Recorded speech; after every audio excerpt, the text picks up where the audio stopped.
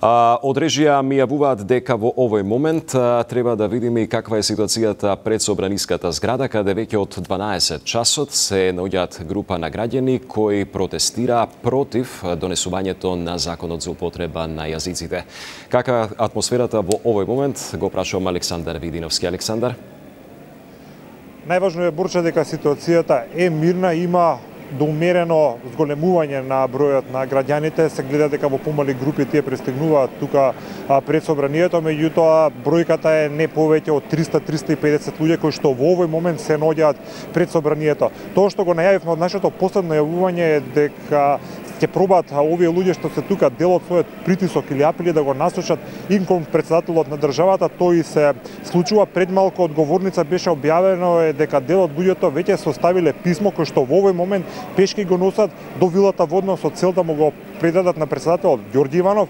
Во него пишува дека тие не се согласуваат со ваквото носење на законот за јазици, воопшто не се не согласуваат и со содржината на законот за јазици и тоа што е наважно дека бараат од него како председател на државата да него потпише овој закон.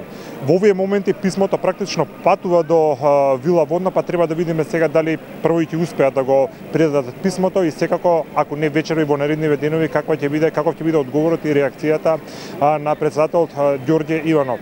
Тоа исто друго што е се промени од моето последно јавување дека е очигледно изголеменото присуство на полицијата како и тие да очекуваат дека има потреба од засилено нивно присуство овдека, така што за собраќај се затворени не само улиците околу собранието, туку еден поширок периметар. Може да се забележат и меѓу собранието и домот на Арама дека пристигна една поголема група на припадници на специјалната полиција. Тие секако се тука за да се грижат за редот и мирот.